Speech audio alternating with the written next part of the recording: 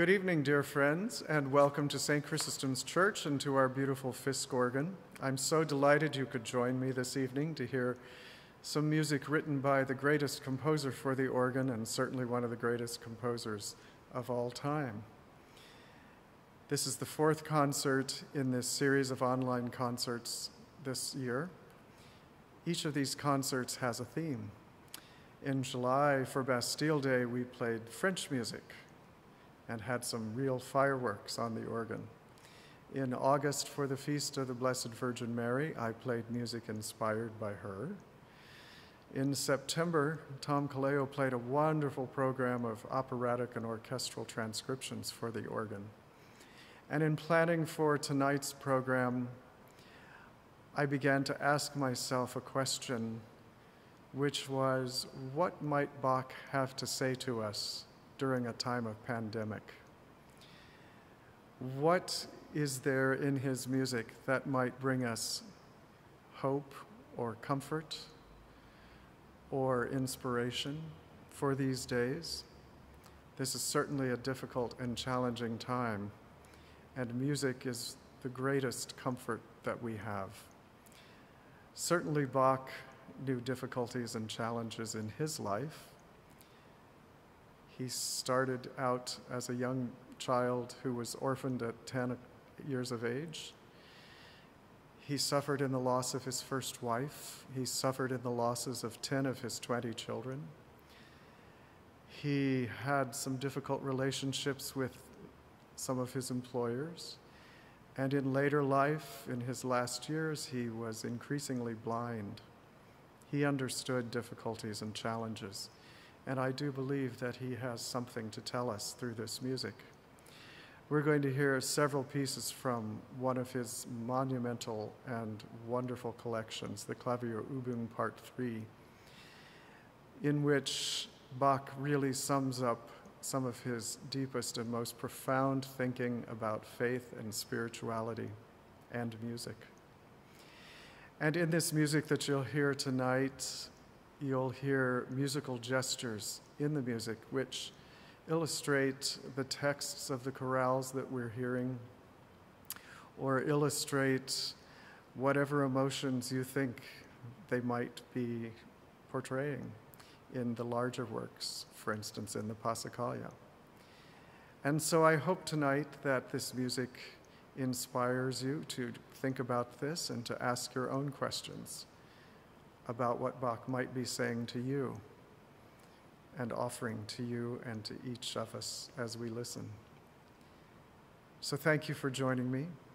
It's a pleasure to have you here and listening to our beautiful Fisk organ. And we'll begin with one of the major youthful pieces by Bach, the Pièce d'Orgue, written in a French style. Very grand, very majestic, and charming, all at the same time. Thank you for joining me.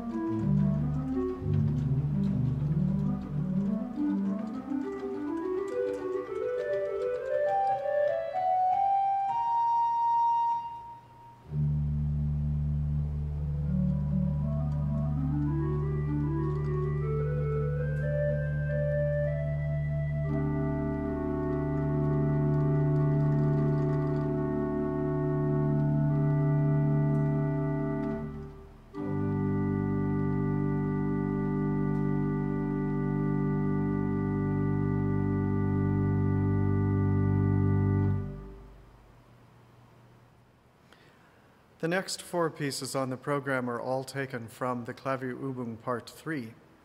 This is a monumental collection of pieces that Bach wrote later in his life, and I do believe they sum up some of his most profound thinking about faith and spirituality and how those are expressed in music.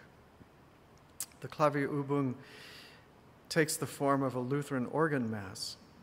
A prelude frames a series of chorales which were sung during the Lutheran service and ends with a great and glorious fugue as a postlude. The first three pieces we're hearing are the Kyrie, Christe, and Kyrie, which is based upon the chorale melody to which these texts were sung. And in these three pieces, Bach use an, uses an interesting device in which the first piece has the melody in the soprano, the second Christe has the melody tucked in the middle, and the third Kyrie has the melody in very long notes in the pedal. It's very clear to hear this melody. And it's a device that Bach used quite often in his chorale settings. He would write three versions of a chorale and do exactly the same thing with the placement of voices. It's a Trinitarian symbology and allows Bach a great deal of imaginative use of the chorale melody. The fourth piece, Vater Unser, Our Father who art in heaven, is one of the most interesting and complex pieces that Bach ever wrote, I think. It's layered with multi rhythms, cross rhythms, complex rhythms. It has interesting textures that can be very transparent and quite thick. It's very difficult to hear the chorale melody, but I can tell you that when you hear a long note being held over or under or in the middle of all the other notes, that's the tune. But it's hard to hear. I've spent years thinking about this piece, trying to understand what Bach is saying in this music. Perhaps you might have an answer.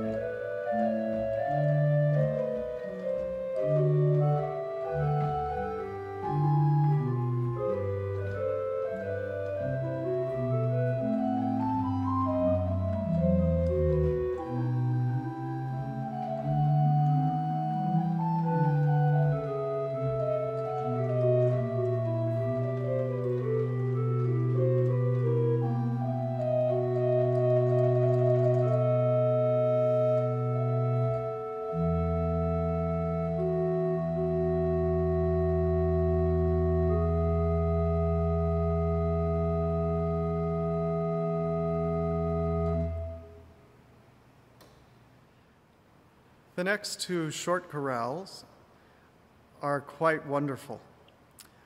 The next piece, Wo soll ich fliehen hin, is a transcription of a piece from a lost cantata. The Schubler chorales, of which this is one, is a set of six chorale preludes based on various movements from his cantatas, the most famous, of course, being Wachet auf ruft uns die Stimme. And we hear the chorale melody in the feet on a four foot stop. And the manuals play a very, very sort of frenetic, frantic, restless figure, very fast, to illustrate this text Where shall I flee? Where is refuge? The next chorale is a very important chorale to Bach, Allein Gott in der Höhe sei er, the German Gloria. I firmly believe that this is an important chorale for Bach because he said it so many times and in so many different ways. And of course, we remember that at the top of every piece that he wrote, he always inscribed Soli Deo Gloria. To God alone be glory. And this setting is quite grand. It's, it's very simple, it's just two pages, but we hear the melody in large chords with very startling and arresting harmonies. And in between each statement of the chorale phrase is a fantasy cadenza. It's quite exciting and really expresses, I think, Bach's joy in his faith. The last piece on the program, the Passacaglia, is one of the major, major works by Johann Sebastian Bach. A Passacaglia is basically a piece that's written over a melody that repeats, and it's a series of variations over that melody. You'll hear the melody stated in the pedals right at the beginning, and he sets 24 variations of this theme, each one beautiful and intriguing and imaginative. And when he finishes the Passacaglia, he isn't actually finished. He still has more to say, and he launches into a grand and glorious fugue based on this subject, ending with a majestic and exciting coda.